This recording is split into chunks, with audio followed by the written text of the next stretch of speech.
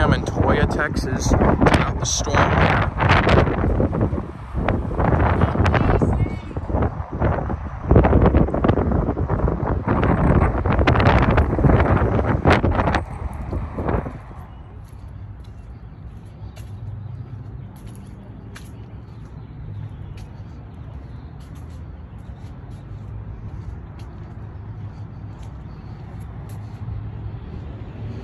It moved.